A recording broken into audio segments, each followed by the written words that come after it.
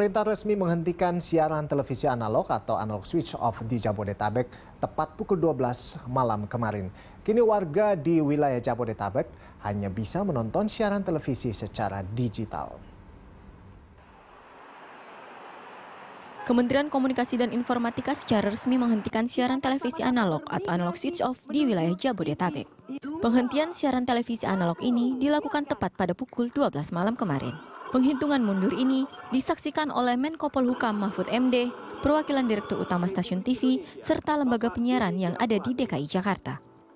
Acara hitung mundur digelar di Gedung Kementerian Komunikasi dan Informatika Gambir, Jakarta Pusat.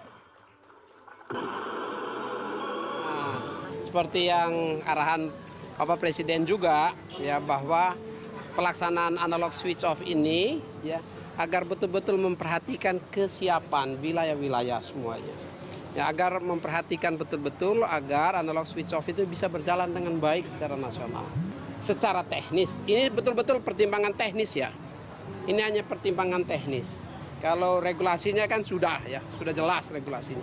Tapi secara teknis pemanfaatan reuse spektrum frekuensi, memperhatikan kesiapan-kesiapan wilayah, infrastruktur sudah semuanya dan kesiapan-kesiapan perangkat peralatan masyarakat, yaitu set-top box bagi masyarakat. Nah ini kita akan lakukan dengan baik, sehingga nanti analog speech off per wilayah itu bisa berlangsung dengan baik juga.